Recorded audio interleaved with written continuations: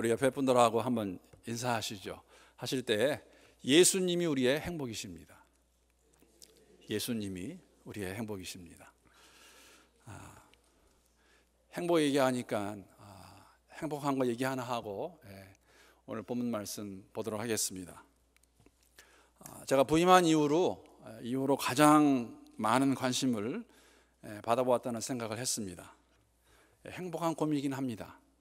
근데 그 이유가 제 눈이어서 조금 아, 그렇긴 하지만 다락지 나가지고 많은 분들이 정말 아, 걱정해 주시고 뭐 기도해 주시고 어떤 분은 예, 오셔가지고 쳐다보시면서 아직도 안 났네요 말씀도 하시고 어, 여러 가지 일이 있었는데 그 중에서 제가 그 들은 얘기가 많은데 몇 가지는 좀 나누고 어, 가면 좋을 것 같습니다. 민간요법입니다.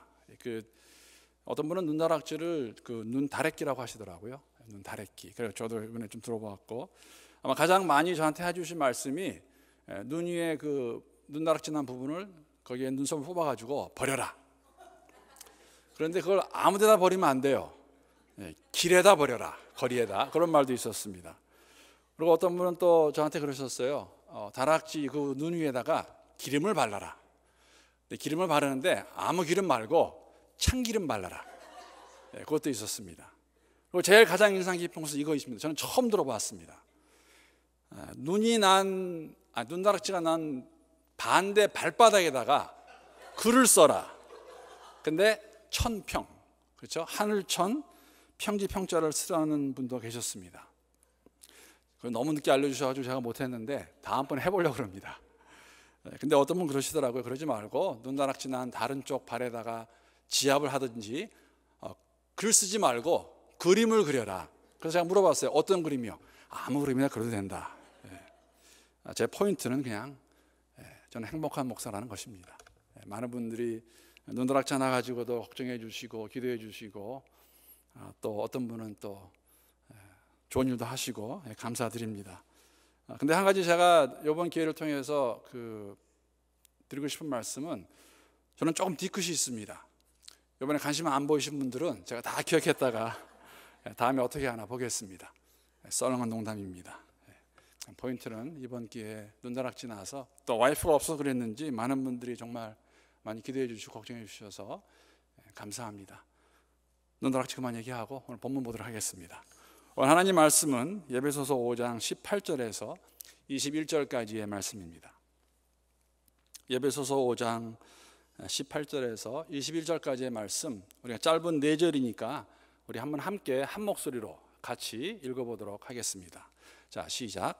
술 취하지 말라. 이는 방탕한 것이니 오직 성령으로 충만함을 받으라. 시와 찬송과 신령한 노래들로 서로 화답하여 너희의 마음으로 주께 노래하며 찬송하며 범사의 우리 주 예수 그리스도의 이름으로 항상 아버지 하나님께 감사하며 그리스도를 경외함으로 피차 복종하라. 아멘. 기도하시겠습니다. 하나님 감사합니다. 이 아침에도 저희들에게 성령의 충만함을 받으라고 말씀하시는 주의 음성을 듣기를 간구합니다. 우리 모두에게 성령 충만함을 입혀 주시고 주의 백성으로 살아가는 데 부족함 없는 우리 교회가 되게 하시고 지체들이 될 수 있도록 은혜를 더하시기를 간구합니다. 예수님의 이름으로 기도합니다. 아멘. 예, 먼저 본문의 이해를 돕기 위해서 제가 잠깐 예배 소서의 설명을 예, 하도록 하겠습니다. 예배소서는 바울이 예, 바울의 감옥에 갇혀 있을 때에 아마 주후 61년에서 63년경에 에베소에 있는 성도들에게 그 교회 성도들에게 쓴 편지입니다. 여섯 장으로 되어 있는데 그것을 보게 되면은 그리스도의 교회, 아, 그리스도의 몸인 교회가 무엇인가, 또 교회를 세우신 목적이 무엇이며 그 교회 안에 소속되어 있는 우리가 교회인데 성도들에게 허락된 풍성한 복이 무엇인가에 대해서 예배소사가 말하고 있습니다. 예배소서는 크게 두 부분으로 나눌 수 있습니다. 1장과 1장부터 3장까지를 한 부분으로 나눌 수 있고 4장부터 6장까지를 다른 부분으로 나눌 수가 있는데 처음 1장부터 3장까지의 주제는 성도의 정체성입니다. 우리가 누구인가를 가르치고 있습니다. 제가 말씀 두 군데만 보고 넘어가도록 하겠습니다. 예배소서 1장 4절과 5절 말씀입니다. 너무나도 은혜가 되고 기쁨이 되는 말씀이라고 생각합니다. 곧 창세 전에 그리스도 안에서 우리를 택하사 우리로 사랑 안에서 그 앞에 거룩하고 흠이 없게 하시려고 그 기쁘신 뜻대로 우리를 예정하사 예수 그리스도로 말미암아 자기의 아들들이 되게 하셨으니 창세 전에 택하셨다고 말씀하고 계십니다. 그리고 예배소 2장 8절 9절에 보게 되면은 우리가 너무나 잘 알고 있는 말씀입니다. 너희는 그 은혜에 의하여 믿음으로 말미암아 구원을 받았으니 이것은 너희에게서 난 것이 아니요 하나님의 선물이라 행위에서 난 것이 아니니 이는 누구든지 자랑하지 못하게 함이라. 여러분과 제가 하나님 백성이 된 것, 성도라는 그러한 호칭을 받을 수 있는 것은 창세 전에 저희들 택해 주시고 그리스도 예수 안에서 선물로 받은 구원을 가지고 있기 때문에 저희들이 이 세상과 구분된 자들로서 살아가야 된다고 그렇게 말하고 있습니다. 분명하게 구분되어 살아가는 것, 그것이 정상적인 그리스도인의 삶의 모습입니다. 그리고 어떠한 삶이 그러한 모습인가는 4장부터 6장까지 잘 기록되어 있습니다. 특히 오늘 본문이 기록되어 있는 5장에 보게 되면은 이러한 구분된 자들이 하나님을 본받는 자들로서 도덕적으로 깨끗하고 세상과 구분되어서 빛의 자녀로 살아가야 되는 이유가 무엇인지 사실 보여주고 있으면서 그러한 삶을 계속해서 지속적으로 살 수 있는 방법이 무엇일까? 그 내용을 사실 오늘 본문에서 기록하고 있는 것입니다. 그래서 제가 잠깐 오늘 5장에서 특히 5절부터 17절까지의 말씀을 통해서 우리가 왜 성도의 삶, 구분된 그리스도의 삶을 살아야 되는지 거기에 대해 사도 바울이 하시는 말씀을 잠깐 우리가 보고 오늘 본문을 보도록 하겠습니다. 여러분 5절부터 7절까지의 말씀 보게 되면 예배소 5장 말씀입니다. 이 세상의 자들을 우상 숭배하는 자들이라고 표현하고 있습니다. 우상을 숭배한다는 것은 하나님보다 그 어떠한 것을 어떠한 누구를 더 사랑하게 되면 우상 숭배라고 말하고 있습니다. 성경은 이들은 음행하는 자이고 행실이 더러운 자이고 탐욕을 부리는 자들이라고 말하고 있습니다. 이런 자들에게는 왜 우리가 구별되어 거룩한 삶을 살아야 되냐면은 그들과 함께 짝하게 되면은 그들에게는 하나님의 진노가 내릴 것이기 때문에 그들과 짝하지 말고 세상과 구분되어서 살으라고 말하고 있는 것입니다. 아마 여러분과 저는 이 세상의 풍조, 습관, 관습, 조건, 조건들과 그런 것들과 떨어져 있는, 떨어져 있는 삶을 살고 있는가? 우리가 자칫 잘못하면 세상의 것들이 이 진노의 자녀들과 같이 그들의 것이 우리의 삶의 목표가 되어서 우리가 그들과 짝하며 살고 있지 아니하나. 그러한 삶은 하나님께서 기뻐하지 아니하는 삶이라고 5절에 7절까지 말씀해 주고 있습니다. 8절부터 14절의 내용을 보게 되면은 성도는 전에는 어두움의 자녀였습니다. 그러나 이제는 지금은 주님 안에서 빛의 자녀라고 말하고 있습니다. 빛의 자녀답게 주님이 기뻐하시는 삶을 살아야 된다고 오늘 5절 8절부터 14절까지 말씀해 주고 있습니다. 우리는 새로운 피조물입니다. 이전 것은 다 지나갔고 새로운 피조물이 되었는데 왜 우리가 이스라엘의 백성의 광야의 모습과 같이 조금 힘들고 어렵고 하게 되면 애굽의 삶을 그리워하는지 왜 어둠의 자녀가 되었던 그 모습으로 돌아가기 원하는 마음이 저들에게 있는지 사도 바울은 저희들에게 그렇지 말고 빛의 자녀로 살아라고 그렇게 말하고 있습니다. 그리고 15절부터 17절까지 보게 되면은 여러분 구약 신약에서 보시면 알겠지만은 계속해서 느끼는 그, 그 분위기는 뭐냐면은 신약의 모든 복음서와 서신의 분위기는 마지막 때입니다. 예수가 오심으로 마지막 때가 시작이 되었습니다. 우리는 마지막 때를 살아가는 사람들입니다. 이 마지막 때, 악한 마지막 때에 지혜 없는 자, 어리석은 자가 되지 말고 지혜 있는 자가 되어서 일상생활에서 주어지는 모든 기회 속에서 주의 뜻을 분별하여서 그 뜻대로 살으라고 저희들에게 말씀하고 계십니다. 그러한 주의 뜻대로 사는 삶이 구별되어 거룩하게 살아가는 모습입니다.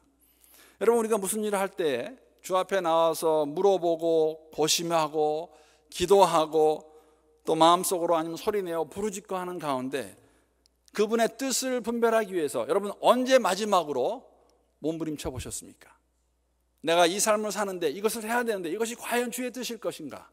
라는 생각을 가지고 그 뜻을 분별하기 위해서 언제 마지막으로 몸부림쳐 보셨습니까? 여러분 제가 어저께 아, 어저께가 아니죠. 지난주에 눈다락지가 나가지고 눈 얘기 한 번 더 하겠습니다. 근데 한 분이 그러시더라고요. 어, 목사님, 안경을 쓰셔야 되는데. 근데 제가 안경을 거의 한 25년 썼습니다.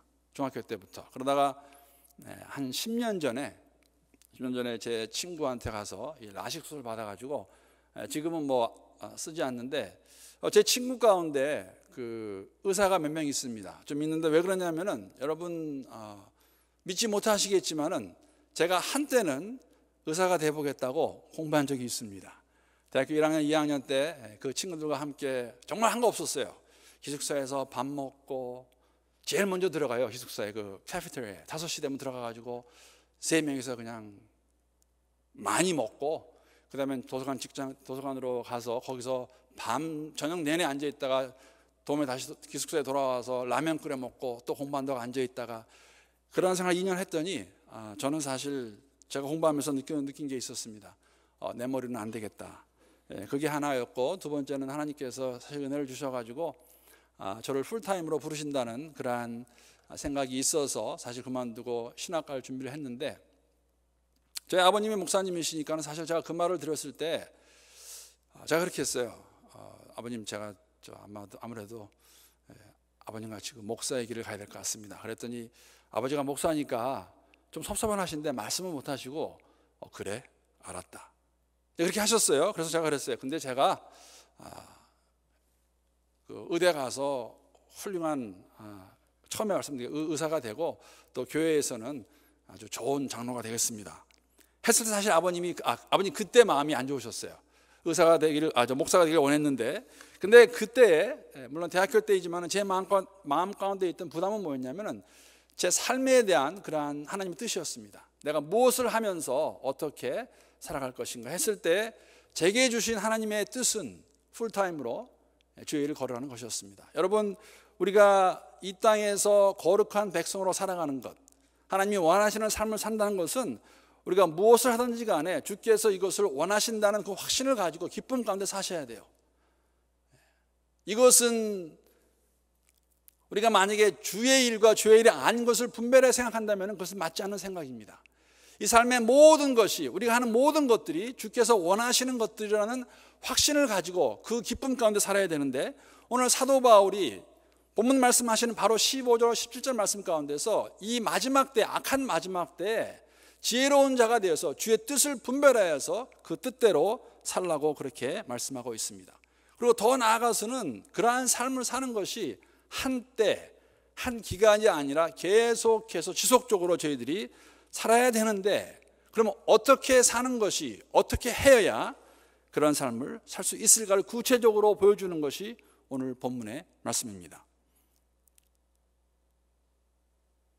오늘 사실 본문에 보게 되면은 조금 저희가 아, 그좀 의아할 수 있는 것이 있습니다. 왜냐하면 술 취하지 말라는 것과 성령 충만함을 같이 지금 붙여놓고 있습니다.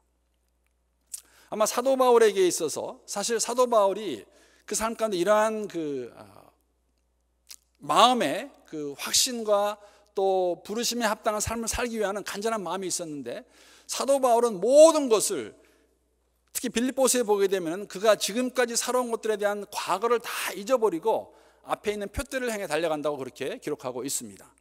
그가 예수를 만나기 전의 모습, 예수를 만나고 나는 이후에 그가 주를 위해 살았던 그런 모습들이 사실 지금은 그의 삶을 살아가는데 소용이 없고 지금 내가 어떻게 무엇을 하면 살 것인가라고 빌립보서에서 말하고 있는데 제가 빌립보서 말씀 한 군데 보고 오늘 본문에서 그런데 왜 그러한 삶을 살아가는 자들에게 성령의 충만을 받으라고 말하면서 왜 술 취하지 말라고 왜 술에 대해서 말을 하고 있을까? 한번 본문을 보도록 하겠습니다. 먼저 빌립보서 3장 10절에서 14절까지의 말씀입니다. 제가 세 번역으로 올려놨는데 사도 바울에게 있어서는 오늘 예배소설을 예배소설을 쓰는 그 마음 가운데 동일한 마음이 있습니다. 너희들이 예, 우리 예배소교의 성도들이 거룩한 자들로서 어떠한 삶을 살아야 되는 것인가? 그 구별된 삶을 사는데 그것이 한때고 한순간이 아니라 계속해서 살아야 되는 그 마음을 사실 빌립보에서 우리가 볼 수가 있습니다. 사도 바울의 고백입니다. 내가 바라는 것은 그리스도를 알고 그분의 부활의 능력을 깨닫고 그분의 고난에 동참하여 그분의 죽으심을 본받는 것입니다. 그리하여 나는 어떻게 해서든지 죽은 사람들 가운데서 살아나는 부활에 이루고 싶습니다. 나는 이것을 즉 그리스도 예수를 알아가는 것, 주의 백성으로 주의 제자로 사도로 살아가는 것, 하나님을 알아가는 그것을 이것을 이미 얻은 것도 아니며 이미 목표점에 다다른 것도 아닙니다. 그리스도 예수께서 나를 사로잡으셨으므로 나는 그것을 붙들려고 쫓아가고 있습니다. 형제자매 여러분, 나는 아직 이것을 붙들었다고 생각하지 않습니다. 내가 하는 일은 오직 한 가지입니다. 뒤에 있는 것은 잊어버리고 앞에 있는 것을 향하여 몸을 내밀면서 그리스도 예수 안에서 하나님께서 위로부터 부르신 그 부르심의 상을 받으려고 목표점을 바라보고 달려가고 있습니다. 여기서 우리가 볼 수 있는 것은 예배소 교인들이 똑같은 공부하고 있는 것입니다. 우리가 예수의 백, 예수의 제자로 하나님 백성으로 살아가는 것은 지금 현재 너희가 어떻게 살아야 되는 것인지 말씀드린 것을 가지고 사실 오늘 본문에 와서는 너희들이 그런데 한 가지 기억해야 될 것은 뭐냐면은 술 취하지 말고 성령의 충만함을 받으라고 말하고 있습니다. 그리고 성령의 성령의 충만한 삶이 있게 되면은 그 모습이 어떤 어떤 것인가에 대해서 사실 그 점검 목록도 체크리스트도 오늘 본문에서 저희들에게 보여주고 있습니다. 그렇기 때문에 지속적으로 계속해서 오늘도 우리가 주의 백성으로 승리하면서 거룩한 삶을 살 수 있는 방법은 두 가지입니다. 첫째는 술 취하지 않는 것입니다. 두 번째 방법은 오직 성령의 충만함을 받는 것입니다. 이상합니다. 지금 술하고 성령 충만함을 사실 좀 비교하고 있어요. 너희가 술 취하지 말고 성령의 충만함을 받으라. 오직. 이 당시에 사도 바울이 예배소를 쓸 때에 그 당시에 그 이방들이 가지고 있던 생각 중에 무엇이 있었냐면은 술을 마시고 취하게 되면은 그들이 영감을 얻게 되고 영감을 얻어서 더 창조적이 될 수 있다는 그런 생각이 그들에게 있었습니다. 잘못된 생각이죠. 여러분 오해하지 마시기 바랍니다. 제가 드리는 말씀은 어, 지금 제가 어, 설명하는 것은 경험을 해서 한 것은 아닙니다. 다만 에, 책을 보아서 들어서 또 이렇게 보아서 제가 안 것입니다.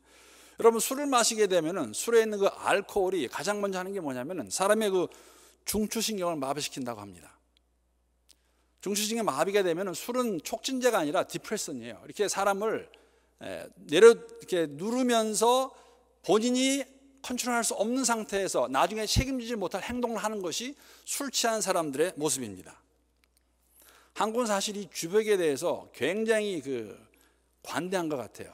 여러분 그런 신문 기사 저는 많이 봤는데 경찰서에 부부가 이렇게 옵니다. 그래서 아내가 막 경찰, 경찰한테 이렇게 말해요. 이 사람이 술 먹고 지금 저를 때렸습니다. 어떻게 좀 해주세요. 그럼 경찰에 뭐라고 하는 줄 아세요? 아주머니, 술 먹고 한 행동인데 그냥 이해해 주시죠. 다 그런 거, 그런 겁니다. 라고 술을 먹게 되면은 자신이 스스로를 컨트롤할 수 없는 상태에 들어가는 것. 그러니까 사실 술 취하지 말라고 한 그것에는 술이 사람을 잡아가지고 컨트롤하는 그 모습과 성령의 충만함으로 우리가 주의 백성으로 거룩한 삶을 살아갈 때 어떻게 해야 가능한 것을 대조해서 보여주는 것입니다. 물론 술 취한 모습과 성령 충만의 모습은 완전히 틀립니다. 성령이 충만하게 되면은 우리가 컨트롤할 수 있습니다. 스스로를. 하나님께서 주시는 그 영께서 우리를 함께 하실 때 그래서 우리가 이 땅에 살아갈 때 성령의 충만함으로 살으라고 오늘 사도 바울이 저에게 말씀해 주시는데 사실 술 문제는 오늘 본문에 나와 있으니까는 많은 많은 사람들에게 특히 한국에 있어서 문제 중에 하나고 예수를 믿는다고 하는 사람들에게도 사실 큰 문제로 지금 두각되고 있습니다.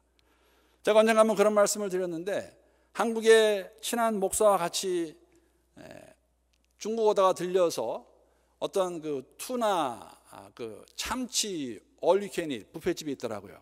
그래서 맛있게 먹고 나오는데 주인 아줌마가 저를 이상하게 쳐다보세요.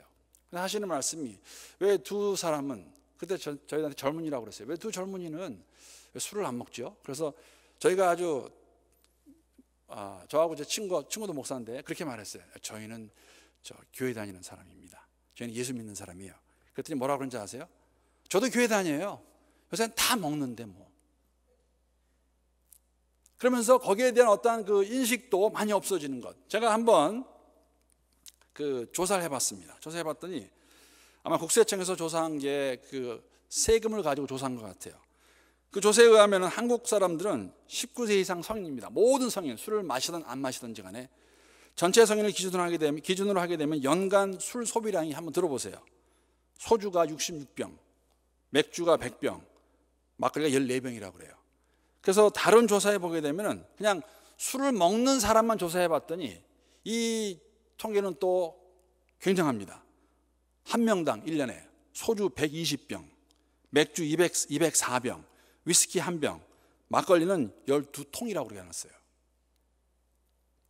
그 한국 사람들은 책을 보게 되면 그 조사하게 되면 우리 한국 성인 남자는 한 달에 평균 12번 술집에 간다고 합니다. 여자는 안 가는 거 아니에요. 6번 갑니다. 그럼 12번 가게 되면은 사실 일주일에 3번 가는 거예요. 일주일에 3번 가면은 하루 걸러 간다는 이야기입니다. 이 그만큼 한국의 음주 문화는 굉장히 정말 세계에서 두, 두 번째라면 서로 할 정도로 우리 한국 사람들 그런 거 있잖아요. 한번 먹으면 끝을 봐야 돼요. 그래서 뭐 1차, 2차, 3차, 4차 가는데 얼마나 이게 한국에서 문제가 됐으면은 이거 저는 이분이 예수 믿는 분인지 안 분인지 모르겠지만은 지난주에 제가 본 기사에서 아주 흥미로운 기사를 보았습니다. 여러분 가운데도 읽으신 분이 계시리라 생각하는데 그 KDB 산업금융 그 그룹의 회장이 쓴 글이에요. 그래서 뭐라고 썼냐면은 그 회장이 그 사내에 있는 모든 회원들에게 그 사원들에게 이러한 다섯 가지 원칙을 냈습니다. 한번 들어보세요. 이 술이 얼마나 한국에서 문제가 되고 있는지. 자, 1번. 술잔은 돌리지 마라. 사실 이 관습은 그, 그 회장의 말에 의하면은 아, 일제시대 때그 아, 그 막노동 하던 사람들이 하던 습관이라고 합니다. 그것이 한국에 들어와서 지금 한국은 아, 저는 사실 도란 술잔을 받아본 적이 없지만 아마 그 술잔을 돌리는 게 아마 아주 전부 다 하는 것 같아요. 술잔을 돌리지 마라. 이것이 축복의 원인이 된다고 하면서 하지 말라고 그랬고 두 번째 이건 또 제가 개인에 들으면서 이럴 수 있을까? 우리 한국 분들이 취하지 말고 즐겨라. 여러분 취하지 말고 즐기려면 그때 어느 정도 먹어야 즐길 수 있을까? 뭐 와인 한 잔, 맥주 한 병. 제가 독일 사람들은 이해를 합니다. 독일 사람들은 즐길 수 있습니다. 제가 한번 말씀을 드린 것 같은데 함께 하던 선교사, 독일 선교사 여성 교사인데 저희가 집에서 좋은 케이크를 만들어서 한, 한 piece 갖다 줬더니 그 여성 교사가 굉장히 미안하면서 그렇게 하더라고요. 어, 한, 내가 미안한데 나는 원래 어릴 때부터, 어릴 때는 아니겠죠. 독일에 있을 때부터 케이크를 먹을 때에는 와인 한 잔을 같이 마셨다고 그래요. 그러면서 내가 한 잔 마실 테니까 오해하지 말고 나를 마시게 해달라 해서 제가 마음껏 마시라고 그랬어요. 그래서 제가 이렇게 격려도 해줬습니다. 아마 그런 문화가 아, 즐기는 문화가니까 아니 물론 이거는 제가 여러분 공부하는 게 아니라 지금 이분이 한 말을 제가 하는 건데 술에 대한 오늘 본문에 나오는 술 취하지 말라는 것과 성령 충만에 대해서 우리가 연결시킬 때 연결점을 찾기 위한 것입니다. 세 번째는 뭐라고 그러냐면은 강요하지 말고 권해라. 여러분 한국 같은 문화에서 상하, 선우가 선배 후배가 그렇게 강한 나라에서 선배가 상사가 한 잔 마시겠습니까? 하게 되면은 그 부하 상사가 아니요. 할 사람 아무도 없습니다. 이거 사실 제가 읽으면서 말도 안 되는 말도 안 되는 걸 생각했고 그 단계 더 저는 과간이었습니다. 정심에는 한 잔만 마셔라. 여러분 미국에서는 정심 때 일하다가 나가서 마실 수 없어요. 근데 한국 이게 이게 허락이 되는. 그러니까 뭐냐면 마시긴 마시는데 그냥 한 잔만 마셔라라고 그렇게 지금 그룹 회장이 사원들에게 이렇게 권고하는 겁니다. 마지막이 더 저는 말도 안 되는 소리 생각했습니다. 저녁에는 1차로 끝내라. 왜 1차를 갑니까? 집에 들어가면 되지. 1차를 마실, 마실 이유가 뭐 있겠어요? 근데 여러분 왜 이렇게 술을 마신다고 생각합니까? 왜 사도 바울 때에도 왜 사도 바울이 성령의 충만함을 말씀하시면서 말하면 명령을 말하면서 왜 술 취하지 말라고 말하고 있을까? 술에 취하게 되면은 내가 나를 컨트롤할 수 없다는 것입니다. 술이 나를 컨트롤하죠. 그래서 그 모양은 사실은 성령의 충만함이 있으면은 우리가 성령께서 함께 하시는 가운데 사실 우리의 힘으로 거룩한 백성의 삶을 살 수 없습니다. 우리의 구원이 오늘 읽은 말씀과 같이 만세 전에 하나님의 택하심으로 은혜 가운데 선물로 받은 것이라면은 우리가 믿음의 삶을 살아가는 그, 그것까지도 우리가 우리의 힘으로 할 수 없기 때문에 성령의 충만함으로 받아야 성령 성령의 충만함으로 가능한데 그 모습은 어떻게 보면은 밖에서 보았을 때는 술 취한 사람들이 자신이 한 것이 아니라 그것에 그것에 컨트롤 되는 것 같이 성령께서 함께 하실 때만 가능하다고 저희들에게 말씀해 주시는 것입니다. 물론 저희들이 생각해야 될 건 있어요. 성령의 충만함이 있을 때 그럼 어떠한 모습이 있을 것인가? 여러분과 제가 성령 충만한 거 어떻게 알 수 있겠습니까? 잘못하면 그것을 우리가 보이는 것, 어떤 순간적으로 우리가 뭐 그런 말 하는 불 받았다. 저 사람 성령이 충만하다. 그래서 뭐 방언한다. 그러한 모습이 아닙니다. 사도 바울은 신약에서 성령 충만한 모습은 삶의 모습 가운데 성품으로 그리고 열매로 항상 표현하고 있습니다. 우리가 성령의 충만함이 있다 그러면은 내가 방언한다고 성령 충만함이 아니에요. 내가 병 고친다고 성령 충만한 것이 아닙니다. 공동체 안에서 열매가 있는데 그 열매까지도 사실 오늘 본문에서 저희들에게 보여주고 있습니다. 오늘 본문 보게 되면은 그 10, 19절부터 22절까지 말씀 함께 먼저 보도록 하겠습니다. 만약에 우리가 성령 충만한 그러한 삶을 살게 된다면은 그 모습이 어떤 모습일까? 오늘 19절에서 21절에 나와 있는 것을 볼 수가 있습니다. 한번 함께 보도록 하겠습니다. 시와 찬송과 신령한 노래들로 서로 화답하여 너희의 마음으로 주께 노래하며 찬송하며 범사에 우리 주 예수 그리스도의 이름으로 항상 아버지께 감사하며 그리스도를 경외함으로 피차 복종하라. 여러분 여기에 나와 있는 18절에서 성령의 충만함을 받으라는 것은 현재 진행형 수동 동사입니다. 그 말의 뜻은 뭐냐면은 말씀드린 것 같이 지금 현재 우리가 성령의 충만함을 받은 상태를 말하고 있습니다. 오늘 성령의 충만함을 받고 살아야 되는 것입니다. 그리고 그 성령의 충만함은 내가 스스로 이룰 수 있는 건 아니에요. 수동적입니다. 성령께서 주실 때, 함께 하실 때 가능한 것을 말하고 있는데 여러분 우리가 언제 성령의 충만함을 느낄 수 있고 받을 수 있고 경험할 수 있겠습니까? 우리가 우리 생각 가운데 한 가지 잘못된 것이 있는 게 뭐냐면은 어떤 뭐 부흥에 참석해서 아니면 뭐 기도원에 올라가서 아니면 내가 아, 어떤 특별한 기간 동안에 성령의 충만함을 받는다는 걸 생각이 있는데 여러분 성령의 충만함이 오늘 현재 진행형으로 쓰여졌다 그러면은 사실 오늘도 함께 드리는 예배 가운데서 우리가 성령의 충만함을 경험할 수 있다는 것입니다. 예배를 와서 그냥 앉아 있다 가게 되면은 그런 충만함 없습니다. 우리가 찬양을 할 때에도 하나님 바라보면서 우리의 마음과 뜻과 정성을 다해 하나님을 찬양하고 기도할 때도 애타는 마음으로 기도를 하고 말씀을 들을 때에도 주께서 내게 오늘 무슨 말씀 주실 것인가 그러한 마음으로 받게 되면은 여러분 성령의 충만함을 경험하실 수 있다는 것입니다. 주신다고 그러셨어요. 함께 하신다고 그랬습니다. 그런데 문제는 이것이 고백으로 끝나지 않는다는 것입니다. 오늘 19절에서 21절에 보게 되면 네 가지의 모습으로 성령 충만한 공동체의 모습을 저희들에게 보여주고 있습니다. 첫 번째는 시와 찬송과 신령한 노래들로 서로 화답하며 즉 아름다운 성도 간의 교제의 모습으로 나옵니다. 세상 친구들과는 가질 수 없는 그런 교제의 모습입니다. 우리가 함께 주를 섬기기 때문에 우리가 함께 모여 교제할 때 여러분 이 시와 찬송과 신령한 노래를 서로 화다는 것은 지금 19절 후반절에 나와 있는 너희의 마음으로 죽게 노래하며 찬송하면 좀 틀립니다. 두 번째 나오는 그 모습은 우리가 함께 모여 하는 공예배를 말하고 있다면 앞에 있는 부분 성도 간에 만나서 교제하는 모습입니다. 여러분 그 술 얘기를 하나 더 하겠는데 한 가지 흥미로운 게 있어요. 여러분 그런 말 들어보시는지 모르겠지만은 또 그런 말도 합니다. 예수 안 믿는 사람들 간에 관계가 깨지면은 여러분 어떻게 하면 어떻게 무슨 무슨 말 하시는지 아시죠? 나가서 술 한 잔 마시면서 다 풀면은 우린 다 그 어려움이 없어진다고 그러는데 예수 믿는 사람, 교회 다니는 사람들이 한번 관계가 깨지면은 그 관계는 풀 데가 없어요. 더 힘듭니다.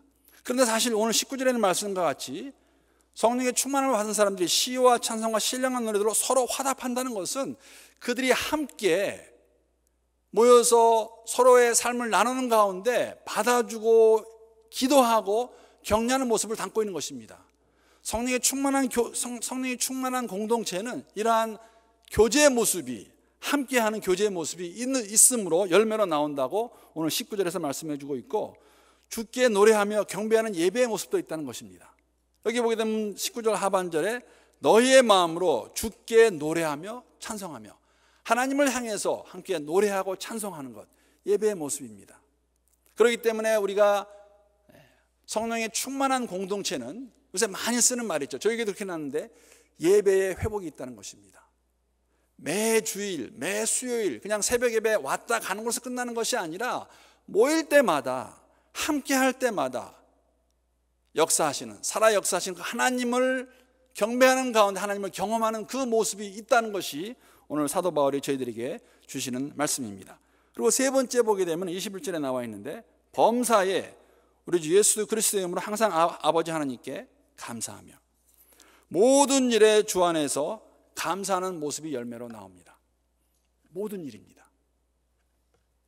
아무리 어렵고 힘든 일이 생겨도 이해가 안 되고 짜증나는 일이 있어도 인정을 받지 못할 뿐 아니라 예수 믿는 사람들이 모이는데 그 안에서 질투가 있고 시기가 있고 오해가 있어도 모든 것을 다 아시는 성령 하나님께서 임재하시고 충만하심이 있을 때에는 우리가 그런 일을 가지고도 하나님께 감사할 수 있다는 것입니다. 모든 일에 범사에 감사하는 모습 그것이 성령 충만한 공동체의 열매의 모습이라는 것입니다. 그리고 마지막으로 보게 되면은 21절에 보게 되면은 그리스도를 경외함으로 주 안에서 그렇죠? 피차 순종하는 모습. 서로에게 순종하는 모습이 열매로 나온다고 오늘 본문은 저희들에게 말씀해 주고 있습니다. 상호 존중하는 가운데 우리가 그리스도 예수 안에서 한 몸의 지체가 되었는데 서로를 받아주고 이해하고 서로를 섬기는 모습, 순종하는 모습이 있다고 저희들에게 오늘 말씀해 주고 있습니다. 여러분 이 땅에 살아가는데 오늘 본문 말씀 보게 되면은 우리가 술에 취해 살든지 성령의 충만함을 살든지 둘 중에 하나입니다. 그렇게 말할 수 있습니다. 물론 술이 꼭 술이 아닐 수 있습니다. 세상에 그 어떠한 것이 나를 취하게 해서 그것이 나의 목표가 되어서 그것을 위하여 그것의 노예가 되어 살 수 있습니다. 그러나 예수 믿는 자들이라면은 오늘 본문의 말씀과 같이 오직 성령의 충만함으로 이 삶을 살으라고 성령의 충만함이 있어야만 주께서 원하시는 거룩한 삶의 모습을 살 수 있다는 것입니다. 안 그러면은 우리는 이 땅에서 술에 취해서 이 땅이 원하는 것들, 바라는 것들, 그것들을 가지고 그것을 목표로 삼아 살아갈 때 그 모습이 하나님께서 원하시는 모습일까? 답은 저희들이 알고 있습니다. 아닙니다. 회복된 공동체의 모습은 오늘 본문에 나와 있는 아름다운 성도 간의 교제의 모습이 있고 주께 노래하며 경배하는 예배의 모습이 있고 모든 일에 주 안에서 감사하는 모습이 있을 뿐 아니라 예수로 인해 서로에게 피차 간에 순종하는 모습이 있는 그 모습이 회복된 공동체의 모습인 것입니다. 오직 성령의 충만함으로 회복된 공동체는 지차 간의 교제와 예배의 회복, 또한 감사와 순종의 회복을 경험하는 계속해서 경험할 수 있는 그러한 공동체가 회복된 공동체임을 믿고 바라보시는 가운데 그것이 우리의 목표가 되어서 그런 공동체를 이뤄갈 수 있는 우리 교회가 될 수 있기를 기도합니다. 함께 기도하시겠습니다. 하나님 감사합니다. 이 아침에도 저희들을 주의 전에 불러주시고 주의 말씀을 통하여서 만세 전에 택함 받은 저희들 그리스도의 은혜 가운데 선물로 저희들이 구원을 받았습니다. 세상과 구분되어 살아갈 때 하나님 원하시는 그 삶의 모습을 오늘 본문의 말씀과 같이 살 수 없는데 하나님 우리가 술에 취하지 아니하고 오직 성령의 충만함으로 주께서 원하시는 삶을 살아가는 또 그 모습이 하나님 공동체 안에서 아름답게 열매로 맺을 수 있는 나올 수 있는 우리 교회가 될 수 있기를 간구합니다. 하나님 긍휼히 여겨 주시고 우리가 모일 때마다 함께 할 때마다 오늘도 살아 역사하시는 하나님과의 만남과 교제를 통하여 우리의 삶이 더욱더 변해갈 수 있고 주를 바라볼 수 있는 우리 모두가 될 수 있도록 축복하여 주시옵소서. 예수님의 이름으로 기도합니다.